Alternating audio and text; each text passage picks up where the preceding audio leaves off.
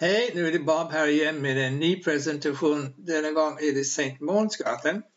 Och eh, man kan fråga sig varför just Sankt Månsgatan? Och eh, när, ibland frågar folk Bob, kan inte du hitta, eh, se om du har någon bild av ett hus där mina morföräldrar jobbade eller, eller jag bodde och så vidare. Men det var just en sån här bild. Jag, jag har en kompis som har bott på andra våning här i det här huset. Och hela bilden är tagen, alltså foton i tagen av Claes Waller 1982. Det visar resterna av Theanders bilverksamhet innan man skulle riva allt under 1980-talet, slutet, mitten av 1980-talet för att bygga eh, bostadsrättsförening, Billigården. Men bilden hade jag ett tag. Jag brukar alltid spara på bilder fast jag inte vet var de ligger eller om det finns något samband till det som jag håller på med. Och så småningom så tittade jag noga bakom här och började känna igen och det är Sankt Månsgatan. Och det är så det blev att jag fick upp intresse för Sankt Månsgatan speciellt. Här är Sankt Månsgatan 7. Jag vet inte om det är någon annan som skulle känna igen de här. Det är Sankt Månsgatan 11. Här är Sankt Månsgatan 17. Uh, eh, eventuellt är det skolan 18 och det måste vara Sankt Månsgatan 21 bit 1937. Och de här, den här husen, det där och det där, de är byggt eh, i 1800-talet. Men nu kan jag det och jag, jag tycker det är jättekul att hitta alla de här eh, uh, fakta och bilder om Sankt Månsgatan. Sankt Månsgatan, ifall ni inte vet var vi är i Lund, det är Sankt Månsgatan här. Här är kvarter Sankt Måns, här är kvarter Billegården där Tianders, fanns här inne. Sankt Månsgatan går mellan de två kvarteren. Här är Stadsparken. Det här huset har adress på Sankt Månsgatan men fast det ligger här. Här är Svanegatan.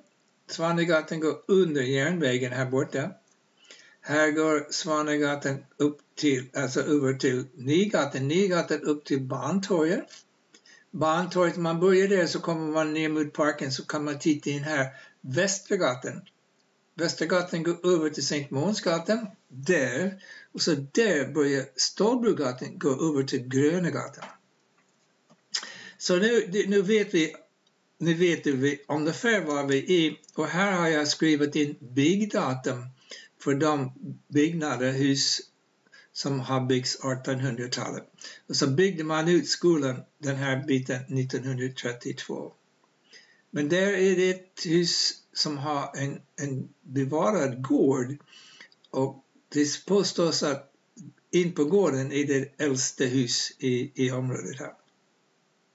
Här är ett hus från 1872 som har faktiskt adress på Västergatan men jag har tagit med det bara.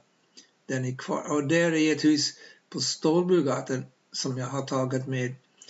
Uh, men annars är det bara hus Eh, på Sankt Månsgatan som jag har tagit byggdatum från 1800-talet. Om man, om man kommer här på Svanegatan då kan man komma under järnvägen här borta. Man kommer på Svanegatan och så ser man skolan, så ser man viadukten, järnvägen och stadsparken. Sväng in här och då ser man det här. Här är Hörnhuset nummer 23 och där är eh, ett hus byggt 1937. Här är delen av skolan som är byggt 1932. Här är det huset byggt 1870 med en bevarad gård och allt annat är nytt. Och så tar man och cyklar upp eller går upp för gatan en bit det här ser man det här huset från 1870 och allt annat är nytt. Och resten av vägen upp till uh, Stålbrogatan, Stålbrogatan svänger dit som jag sa till mot Grönagatan och där är Västergatan över till Nygatan. Och det här huset är det sista på Sankt Månsgatan nummer 4 byggt i 1800-talet. Det här huset i Stålbrogatan, det där orangea och de rosa, de är nummer tre och nummer fem på Sankt Månsgatan och de är från 1800-talet. Det där och allt det där är nytt. Och så ska man ha kartor naturligtvis när man jobbar på uh, med bilder och hus. Här har jag tagit Palmkranskartan gånger två, alltså två gånger.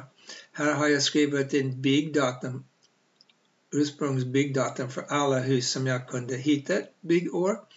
Och här har jag tagit de gatuadress som jag har använt eh, i min presentation. Här saknas det ett hus, nummer 23 på hörnet. Jag vet inte varför. Och där är ett hus i stadsparken tvärs över gatan, tvärs över Svanegatan.